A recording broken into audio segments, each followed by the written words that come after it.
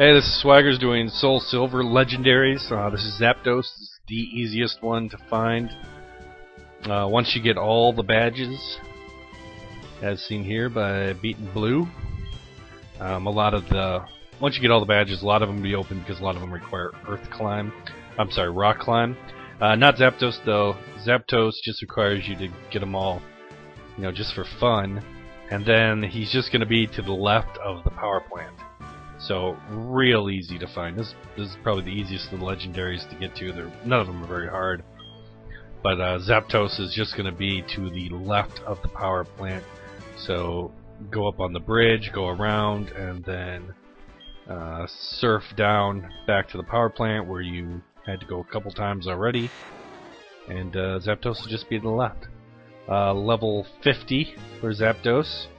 And uh, not too hard. Again, you know, just save beforehand and you know be ready to do it a couple times because these guys, uh, you know, they love to escape from Pokeballs.